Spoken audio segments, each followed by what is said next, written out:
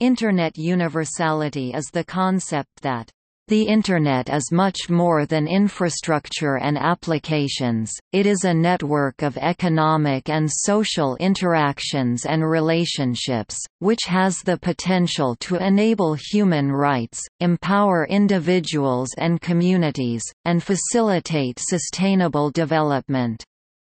The concept is based on four principles stressing the Internet should be human rights-based, open, accessible, and based on multi-stakeholder participation. These have been abbreviated as the ROAM principles. Understanding the Internet in this way helps to draw together different facets of Internet development, concerned with technology and public policy, rights and development. Through the concept Internet universality UNESCO highlights four separate but interdependent fields of Internet policy and practice that are considered a key to assess a better Internet environment, access to information and knowledge, freedom of expression, privacy, and ethical norms and behavior online. A framework named ROAM was developed by UNESCO in order to investigate and evaluate the universality of Internet in different countries. The framework is based on four normative principles agreed by UNESCO member states, human rights, openness, accessibility and multi-stakeholder participation, summarized in the acronym ROAM. The principles represent a solid ground for UNESCO in order to create a tool to comprehend Internet governance, the Internet Universality Indicators.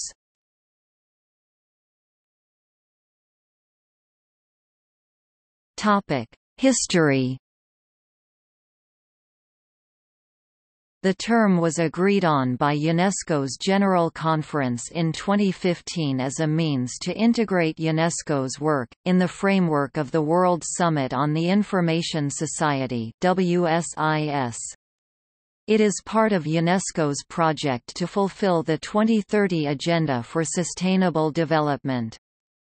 During the 37th session of the General Conference, UNESCO member states affirmed the principle of applicability of human rights in cyberspace. The concept of Internet universality was then built upon the Connecting the Dots Conference Outcome document on 3–4 March 2015.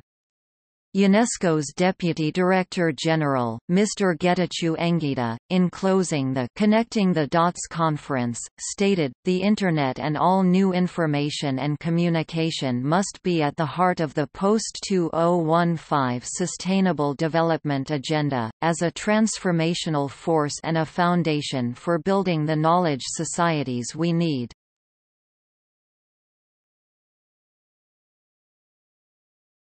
Topic Wider context The social, civic and economic potential of a global Internet—one that bridges the world—is widely recognized. Connecting an individual, locality, nation or continent to the wealth of information, expertise and communities distributed across the globe is among the greatest promises of the Internet. For example, educational materials can now readily be put in the hands of students worldwide. However, the Internet can also empower users to create, disseminate, and consume information and knowledge resources. This potential for using the Internet to reconfigure access to information and knowledge, and also reshape freedom of expression, privacy, and ethical norms and behavior, has been a theme in academic research include the interconnected information and communication technologies, such as the web, social media, developing mobile Internet, and the Internet of Things IoT, including such developments as cloud computing, big data, and robotics, for example, that are increasingly central to networked technologies. Biometrics and other technologies central to developing network applications, such as for personal identification and security, are also incorporated in this definition. By 2014, over 3 billion people had gained access to the Internet from around the world. This is a major advance in worldwide access to information and knowledge, but translates to only 42% of the world, leaving most of the world without access. Even those with access are often constrained by technical barriers, language barriers, skills deficits and many other social and policy factors, from accessing information and knowledge in essential ways. The global diffusion of the Internet is progressing, but at the same time what we know as the Internet is continually changing. Innovation continues apace in many areas, from mobile applications and payment systems to social media and information and communication technologies ICT. The Internet has reached more people in more powerful ways than ever thought possible. It has also become a major resource for economic development.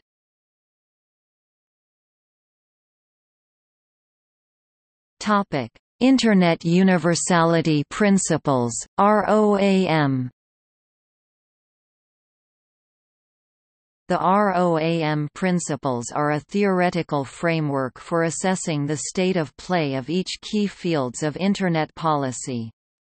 The framework underscores a set of principles that, when applied to the Internet, aim to achieve an open, global and secure Internet, by highlighting the relevance of human rights as a whole, as well as openness, accessibility and multi-stakeholder participation.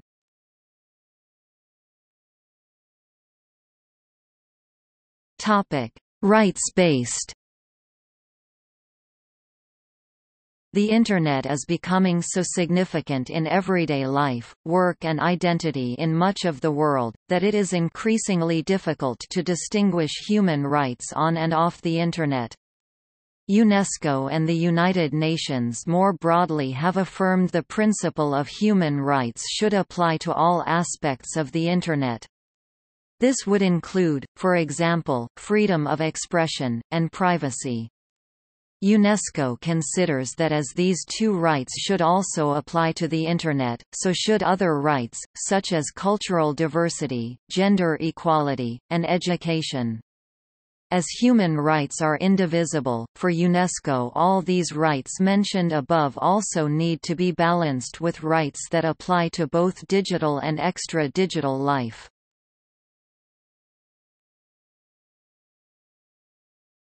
Topic: Openness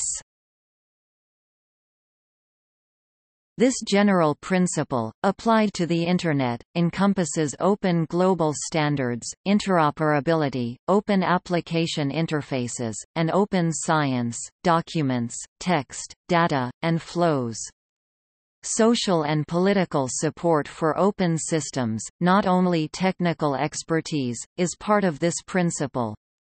Transparency is part of openness, as well as a dimension of the rights to seek and receive information.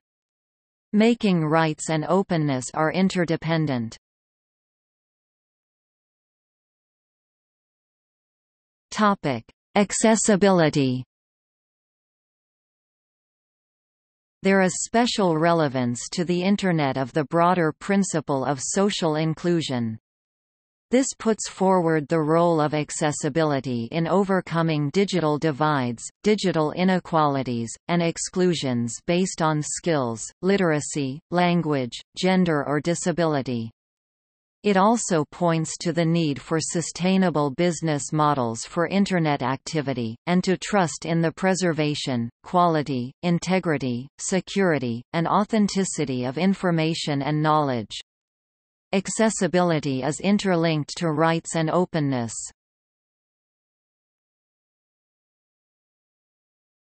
Topic: Multi-stakeholders participation. The general principle of participation in decision-making that impacts on the lives of individuals has been part of the Internet from its outset, accounting for much of its success. It recognizes the value of multi-stakeholder participation, incorporating users and a user-centric perspective as well as all other actors critical to developing, using and governing the Internet across a range of levels.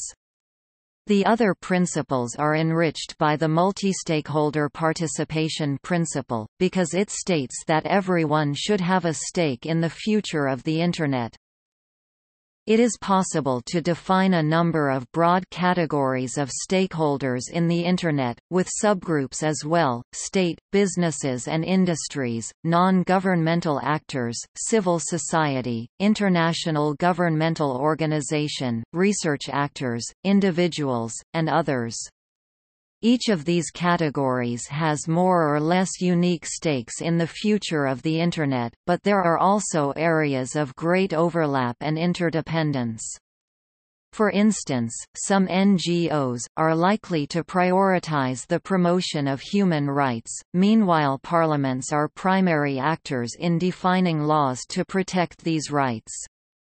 Still other stakeholders are key to shaping rights online, such as search engine providers, and Internet service providers ISPs. Individuals also have particular roles to play in respecting, promoting and protecting rights.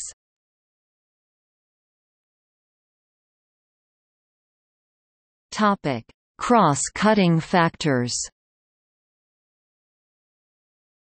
Aside from the four main factors ROAM, UNESCO has also identified five different cross-cutting factors that will suit all of the ROAM factors, and should be taken into consideration. Of the five, two of them are concerned with gender and age equality, one is concerned with sustainable development i.e. what part does the Internet play in achieving the Sustainable Development Goals developed by the UN, the fourth is concerned with Internet trust and security, and the last is concerned with legal and ethical properties of the Internet.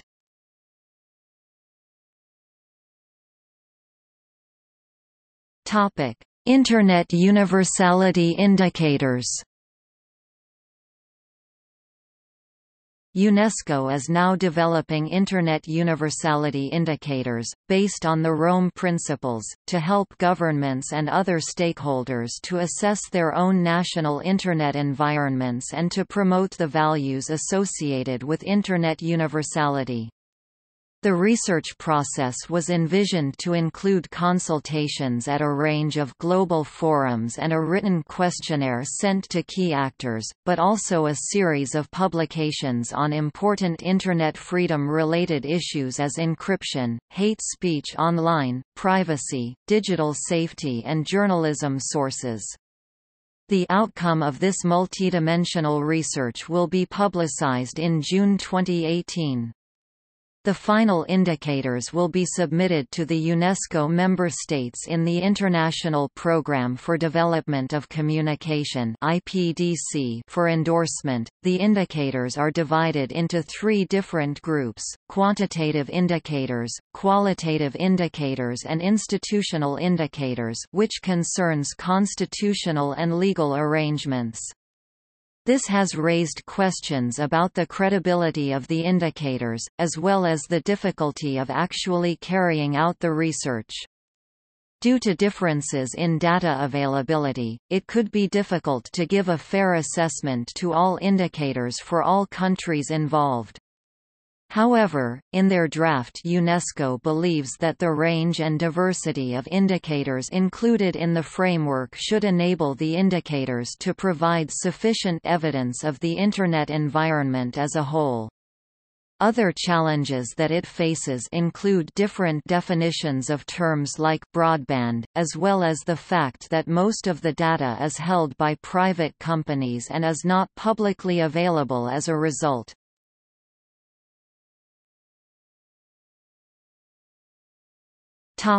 The four major fields of focus.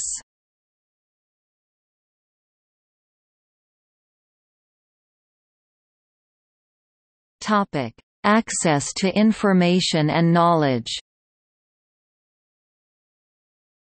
Access to information and knowledge encompasses the vision of universal access, not only to the Internet, but also to the ability to seek and receive open scientific, indigenous, and traditional knowledge online, and also produce content in all forms. This requires initiatives for freedom of information and the building of open and preserved knowledge resources, as well as a respect for cultural and linguistic diversity that fosters local content in multiple languages, quality educational opportunities for all, including new media literacy and skills, and social inclusion online, including addressing inequalities based on income, skills, education, gender, age, age, race, ethnicity, or accessibility by those with disabilities.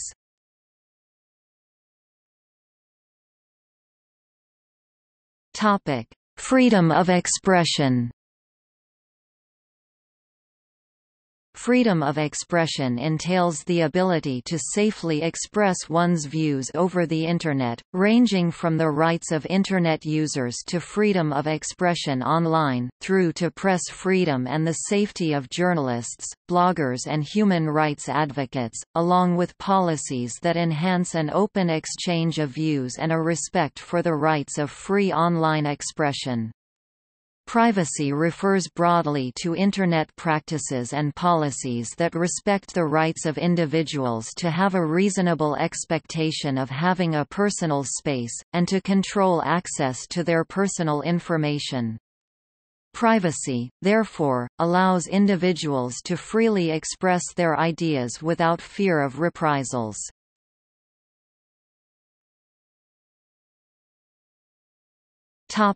Privacy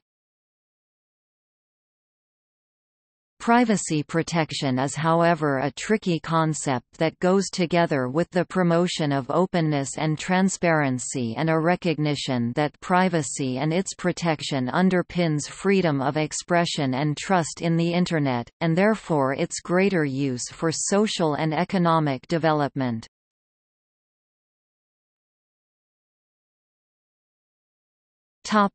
Ethics Ethics considers whether the norms, rules and procedures that govern online behavior and the design of the Internet and related digital media are based on ethical principles anchored in human rights-based principles and geared to protecting the dignity and safety of individuals in cyberspace and advance accessibility, openness, and inclusiveness on the Internet.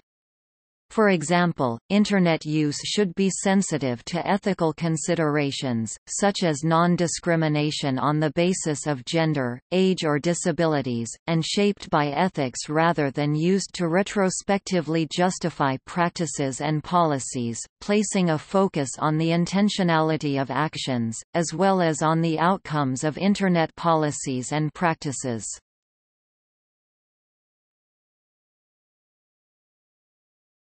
Topic: Challenges to Internet universality. As the World Wide Web and related digital media have evolved, they have come to serve many diverse purposes for many different actors, e.g. household entertainment, government surveillance. Technical innovations are altering traditional business models, such as in the provision of news, and the structure of organizations, where traditional hierarchical reporting relationships have been challenged by many-to-one and many-to-many networks of communication that span organizational boundaries.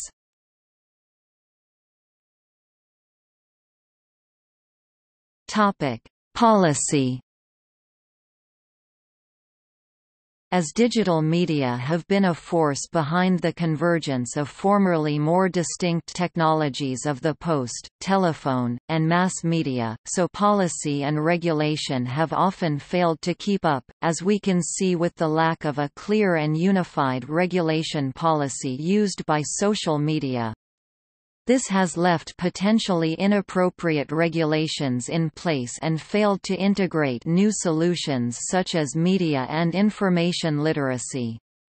A worldwide ecology of policies and regulations is shaping the interrelated local and global outcomes of the Internet on access to information and knowledge, freedom of expression, privacy and ethics and such policy choices are being considered by a multiplicity of actors at all levels for all are concerned that the policies and practices governing the Internet could undermine principles and purposes they view as fundamental, whether those values are centered on freedom of expression, the privacy of personal information, or ethical conduct, and whether the implications are perceived to be immediate or long-term.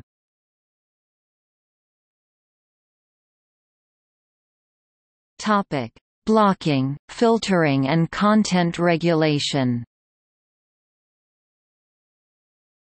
Blocking and filtering of content regulation are common areas of concern for NGOs and international organizations, such as UNESCO. These measures restrict in a direct way citizens' rights to impart information and opinion, as well as impacting adversely on their rights to access online content. In many cases, users might not realize that content has been filtered or blocked. There was some recognition that alongside censorship as a violation of free expression, there is also legitimate reason in some contexts to block certain content, such as material that incites violence. This raises the question of how to draw the line in specific cases about what to block, for how long, in what proportion, and with what transparency and redress mechanism. Another issue is the danger of holding intermediaries liable as if they were publishers. For example, making social media platforms responsible for an alleged case of hate speech. International standards of human rights law mean that removal, blockage or filtering of Internet content should be the exception to the norm of free flow of information, and that such actions fulfill the conditions of due purpose, necessity, proportionality, and transparency, and are authorized under relevant law and policy. Furthermore, multiple actors, including individual users can identify instances of censorship and expose these cases to the court of public opinion. In such ways, the Internet has the potential for enabling individual Internet users to hold institutions and other users more accountable for their actions online, creating what has been called a fifth estate, analogous to the fourth estate of the press, but potentially even more powerful. A fifth estate does require a relatively free and open Internet to be sustainable and influential.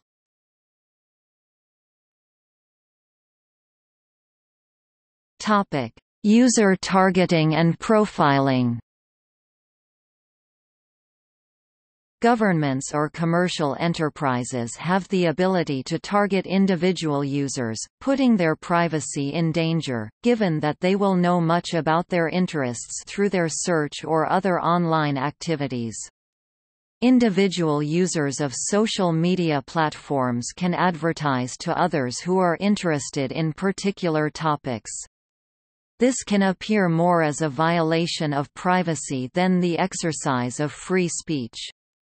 A related issue is the filter bubble, the idea that different Internet users will see different versions of the Internet, based on how algorithms use their previous search or social media preferences.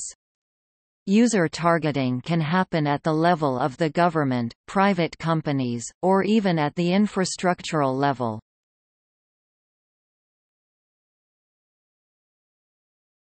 Topic: Expression and identification.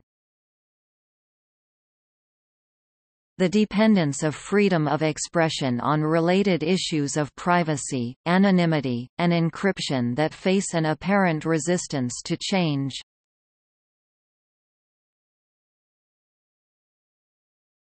Topic: Anonymity. Anonymity can be a cornerstone of privacy, it is considered as a prerequisite for the expression of unpopular or critical speech. Anonymity is sometimes viewed as contributing to harmful speech, such as hate speech, which goes beyond international standards of human rights law for protected speech.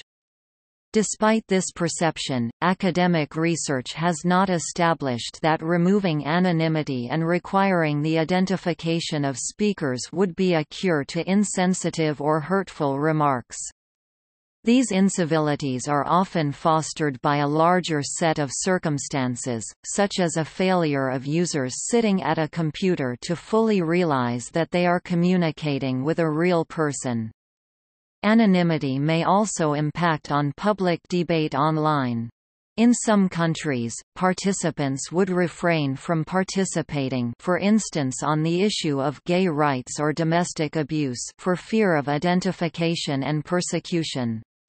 Anonymity in cyber attacks, including fake domain attacks impersonating civil society, is a serious violation of free expression.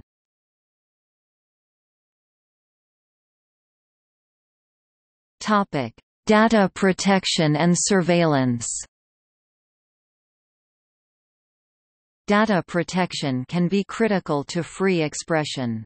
Increasing government surveillance of citizens, including through the collection and analysis of big data, is leading to an erosion of the citizens' rights to privacy and freedom of expression. A report of the former UN Special Rapporteur on Freedom of Opinion and Expression states that, bulk access to all digital communications traffic eradicates the possibility of individualized proportionality analysis, because it pre-empts prior authorization based on specific targeted suspicion. The role of mass surveillance potentials and the use of big data analytics could change the balance between the state and individuals. Whistleblower, such as Edward Snowden, helped identifying the mass surveillance of communications metadata, as a disproportionate response in relation to the security problem. Concern were also expressed during the Connecting the Dots conference about surveillance tools, originally built to address severe crimes, being used to collect personal information about dissidents, or sometimes from all citizens. Further concerns were over weak transparency on how data is collected or used for security investigations. Manipulation of security practices such as the introduction of backdoors into software to allow legitimate government access can leave Internet users vulnerable to other, illegitimate threats. Attackers can potentially get in through the same backdoors, rendering systems less secure.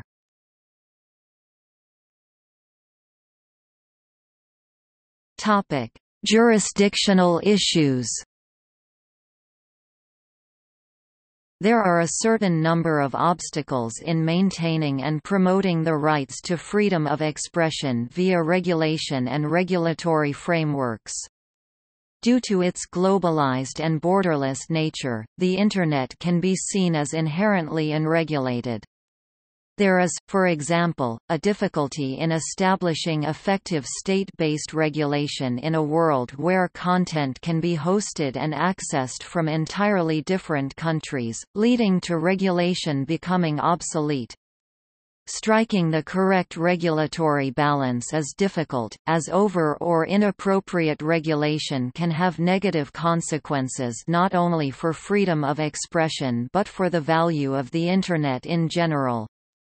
UNESCO considers that government's role is not to restrict freedoms, but rather to ensure that fundamental human rights—including communication-related rights—are protected.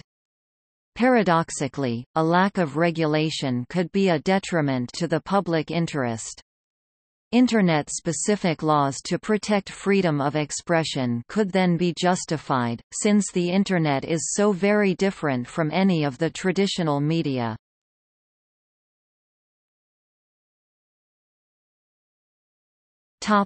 Sources This article incorporates text from a free content work.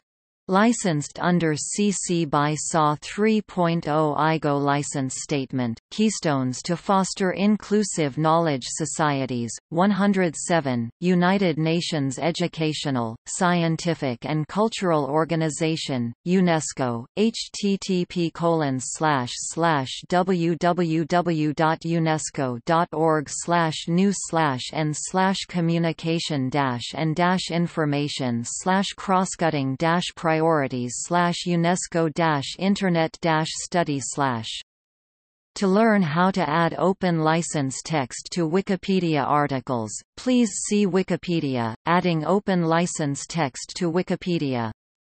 For information on reusing text from Wikipedia, please see the terms of use.